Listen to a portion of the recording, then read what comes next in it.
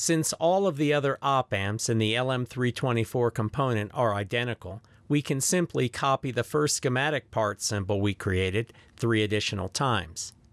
Use Ctrl A to select all part primitives in the component editor window or select the primitives for copying with a selection region. Then, copy the selected component primitives to the clipboard with Ctrl C.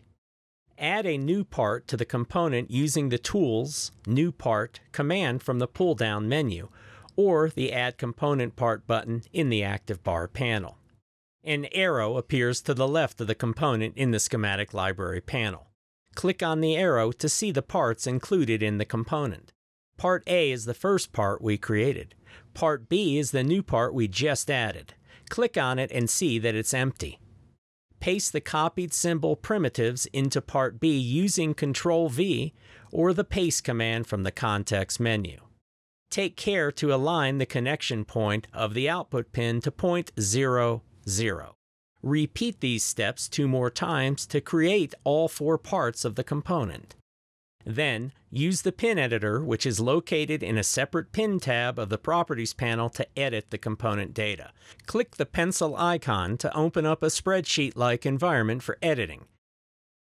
This panel includes sorting by any column as required.